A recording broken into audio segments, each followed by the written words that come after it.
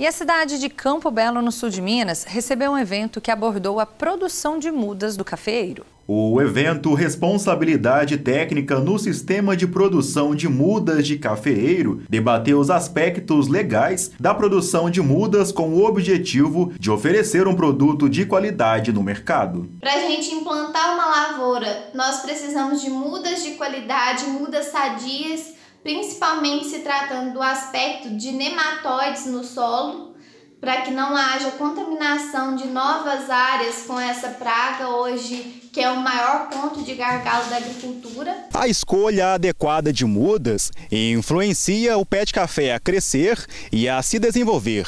E para ajudar o produtor rural a fortalecer a produção de mudas, vários profissionais do agro se reuniram para trocar informações é de grande importância para o Sistema Nacional de Sementes e Mudas, sobretudo por estar abordando os aspectos legais da produção de mudas de cafeeiro, tanto em Minas Gerais como em todo o país, pois tivemos participantes de diferentes regiões do país, o que trouxe né, e vai sempre trazer grandes benefícios aos produtores e todos os entes envolvidos na cadeia de produção de mudas de café. Eventos como esse são muito importantes, pois aproximam engenheiros agrônomos, responsáveis técnicos e viveristas de órgãos competentes de fiscalização. Para nós da EPAMIG, é, este treinamento foi de extrema relevância, primeiro pela atualização da legislação, né?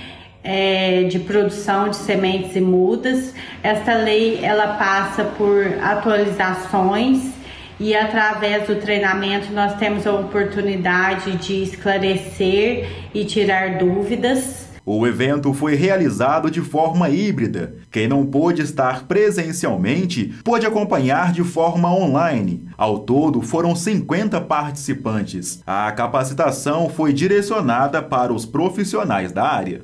Foi um curso de grande valia para nós, técnicos que somos responsáveis por essa etapa de produção. É, esse curso foi muito importante, onde que falamos sobre diversas pragas, né, diversas doenças e também falamos sobre problemas comuns na produção de mudas, aonde que isso vem afetar a, a cadeia todinha, né, não só ao produtor de muda, mas também ao produtor rural que compra essa muda depois. E isso tudo significa o seguinte, que no futuro a pessoa vai ter um, uma lavoura de café eh, de, de qualidade, né?